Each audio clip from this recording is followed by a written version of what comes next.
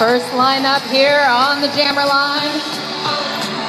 Number 33 for the Divas, jamming against number 12 from Capital City in the purple.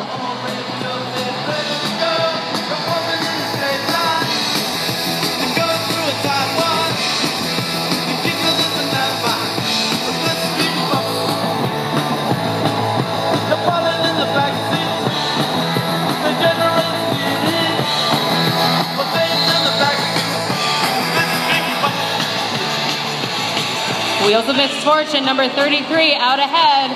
Number 12 from Capital City getting dragged back. And the Divas have lead jammer.